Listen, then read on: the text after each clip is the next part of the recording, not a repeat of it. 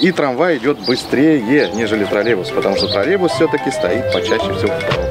15 мая в 20.00 МТВ вам покажет экскурсию на дом. И вот э, таким образом определяет, насколько хорошо накачан баллон. На этот раз вы увидите тематическую экспозицию «История городского электрического транспорта Царицына, Сталинграда, Волгограда». Для меня работа вот э, трамвая, она сливается в единую мелодию, где э, вот в принципе на слух можно любую фальшивую ноту Да. услышать. После этой экскурсии вы будете по-другому смотреть на трамвай. При въезде в подземную часть складывается пантограф. Не просмотрите на МТВ 15 мая в 20.00 экскурсию на дом про историю городского электрического транспорта Царицына, Сталинграда, Волгограда. И такой интересный момент, дамы туда не допускались, чисто с эстетической точки зрения.